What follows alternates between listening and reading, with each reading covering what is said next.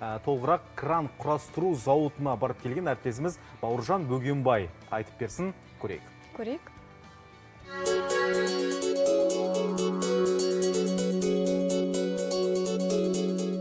Мен қазір елімізде жасалған алғашқы жүк көтеретін кранның қасында тұрмын. Биіктігі таумен таласқан ғимараттарды тұрғызғанда тоқтамасын деп ырымдап атын таусоғар деп қойыпты.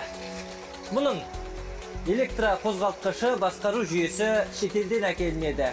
Бізде әзірге тұтас сүйегі мен темір тіреуіштері құрастырылады.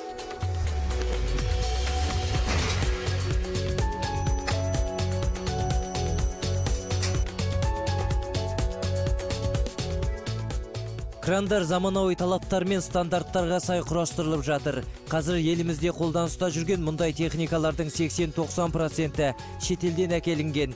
Әрине, олардың өз құнынан бөлек тасымалдауға кеткен шығынды қосқанда бағасы одан бетер арта түсері сөзсіз. Ал осындай отандық өнім құрылыс саласына жаңа леп әкеледі деп күтілуде. Бұл крандарды біз Қытайдан, Қытайдың ғылыми зерттеу институтынан сызбаларды алдық және сол технологиямен жұмыс істеп келе жатырмыз.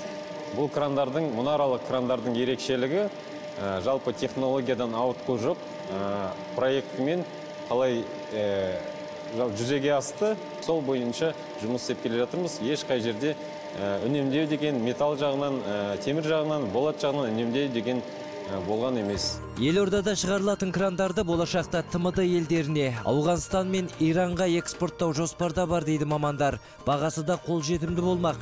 Крандардың бүгінгі нарықтағы құны 90 мыңнан 160 мың долларға дейін барады.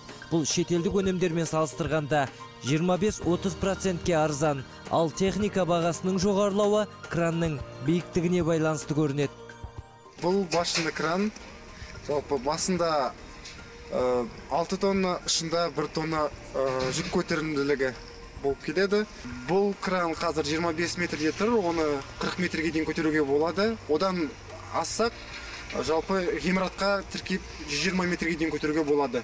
Бұл зауыт әзірге жылына 50 кран құрастырса, келешекте 200-ге дейін көбейтуді жоспарлап отыр. Әрине, оның бәрі сұранысқа байланысты болмақ. Бастысы отандық жүк көтергіш кран сапалы құрылысқа сеп болса игі.